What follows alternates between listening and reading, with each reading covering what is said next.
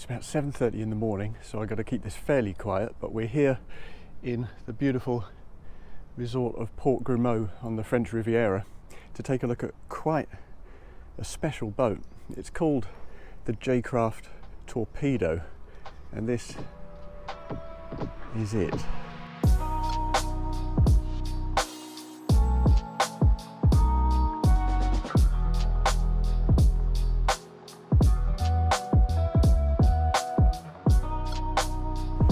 And it absolutely could not be more relaxed.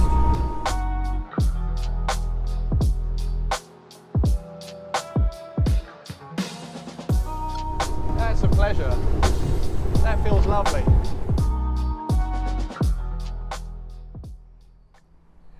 Now as you can see,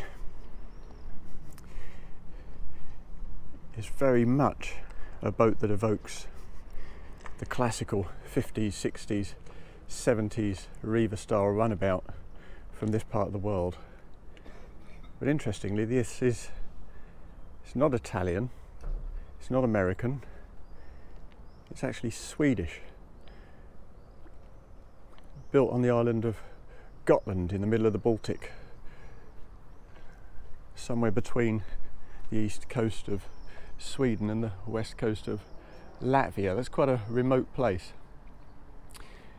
So when the prevailing southwesterlies and westerlies pick up, you get some big seas around there. So this is not just a pretty boat.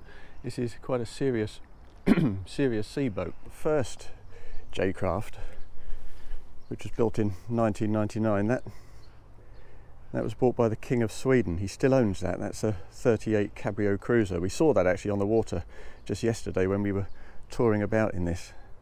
That's a magnificent looking boat. But what we see here is the torpedo torpedo model. That's a 42 footer. Instead of shaft drives, it uses IPS drives, an entirely redesigned hull. but it's aiming to retain the essence that J-Craft laid down early on, which is all about a special boat hand built by craftsmen in the factory in Sweden. And actually, virtually everything you see here is built in-house right down to the stainless steel fittings. Absolutely everything. There's only a couple of bits that they source elsewhere. The leathers and the upholsteries the fabrics are usually sourced from quite prestigious suppliers in Italy and so too that gorgeous steering wheel from Nardi. If we just step onto this passerelle and take a closer look at the aft end. This gorgeous tumble home transom, this lovely curve of wood. This is all done by hand in the traditional way. They tell me it's quite similar to the way the Vikings did it on their longships, they've uh, basically contained the wood inside a, uh, a kind of cell and steamed it over a few hours and then clamped it into shape finished everything by hand and then given this no fewer than 18 layers of varnish. The finish is really quite exquisite. And this is, uh, this is uh, West African mahogany, uh, cultivated mahogany, so it has no impact on the rainforest, which is great. And what a beautiful rear end that is. Now we've opened up these engine hatches because it's a very difficult thing for me to achieve with one hand while holding a camera as you can see they sit just forward of this rather lovely hatch that contains the connection for the shore power. As you move forward what we can see here is a pair of IPS 600s there are choices. You can have smaller engines or you can have the 650s that's the RS version.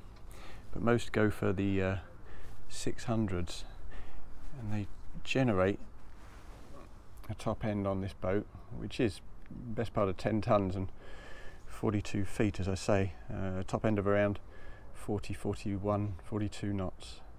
With the 650s you can expect 47 knots apparently.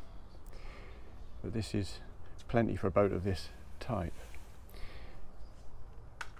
And forward here one on either side, you can see the fuel tanks. On this uh, boat, which as I say is 12 years old, these are 500 litres each.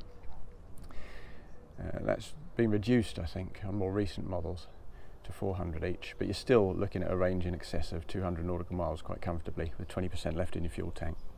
Now we'll take a for a drive in a moment and we'll talk more about the helm station then.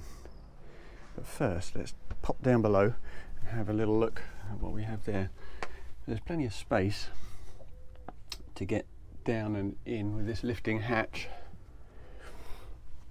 And what Rudenko wanted on what is ostensibly a day boat was to make sure that when you pop down below you weren't simply greeted with a bed.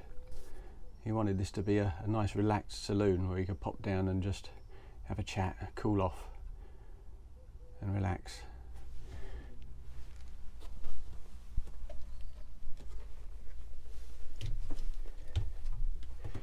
Now because of the classical nature of that hull, there are no hull windows so obviously all the natural light we have comes from above. A couple of oval skylights there and a forward hatch. It's worth noting that the curves here are lovely. They're also pretty much everywhere as you can see. It's the kind of boat you really want to just touch and feel the whole time. Again, plenty more, plenty more mahogany. Very nicely put together.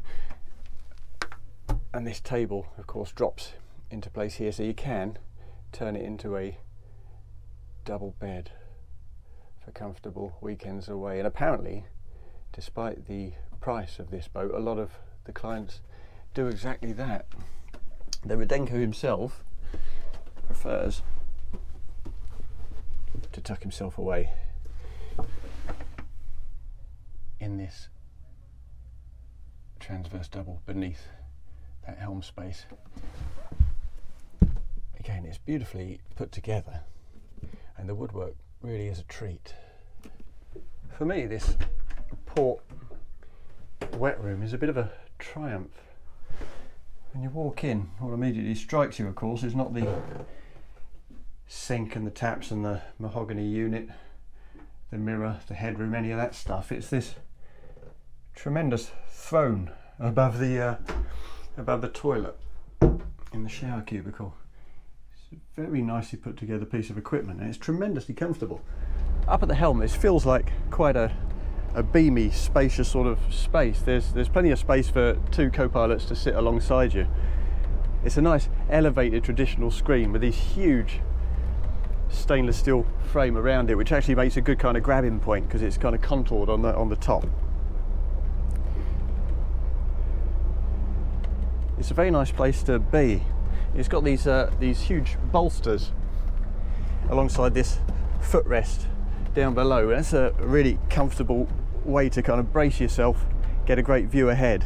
When you put the seat down, for me, certainly it feels a touch low. It's okay when you're, you're at displacement speeds like this, but when you get up on the plane and the nose elevates a little, it kind of limits your view a touch.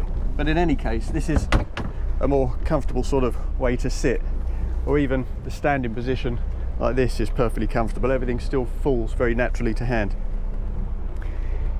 It's worth noting also that as you're, you're, you're pootling along at two or three knots, it's uh, it's a very relaxed kind of boat to drive. There's there's none of this constant corkscrewing and have to having to correct and overcorrect at the wheel. Directional tracking is very stable, very easy. So this is equipped with the 600s, and for most applications and for most owners, that should be plenty. So let's just get it up on the plane those big turbo diesels winding up behind us. There's a little bit of bow lift, but nothing substantial. Within seven or eight seconds, we're quite easily on the plane. And it's interesting, uh, as you would expect, as you reach kind of two and a half thousand RPM, this is where the, it's where the throttle response really kicks in. And from this point forward, if I put the throttles down a little more, we really pick up.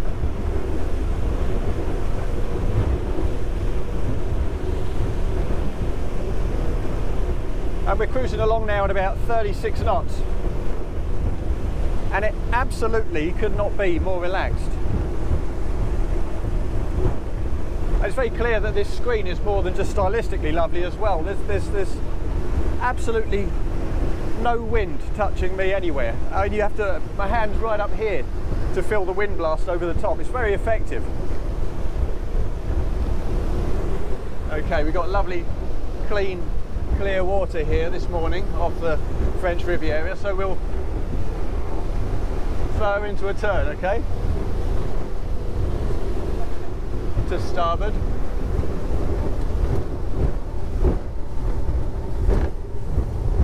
And she heels over beautifully. There's lots of grip. And those are oh, those big Volvos are powering on gamely. We're not really losing any pace at all. We've gone down from 36.2 to 35.6. That's a pleasure. That feels lovely. It's so planted. interestingly, it's got uh, on the aft end those kind of extended fiberglass wings. Now you've got to be quite careful with those when you're coming alongside but I'm told by Rudenko that they actually play a part when you're peeling into the turn. We do that again, we'll turn to port this time.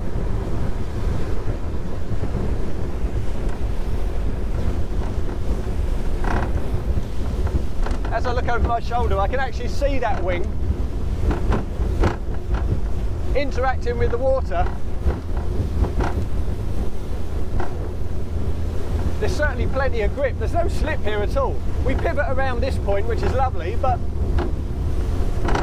it clings and goes, absolutely on rails. There's no letting go at all. Rudenko also suggests that they assist in terms of splash deflection, keeping everyone in the cockpit nice and dry. I'm not entirely convinced by that, but they do look magnificent. and with that beautiful sort of tapered tumble home stern and that wider beamier uh, section of the boat amidships you kind of need those wings at the aft end just to even out the shape and style of the boat so let's get her up to a top end and see how she does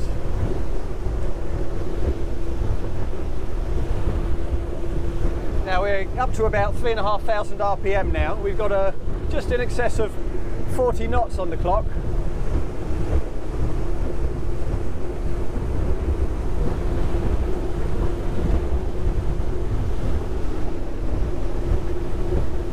And it's every bit as relaxed as it is at 20 knots. The sound is very moderate as well. You can talk without having to raise your voice.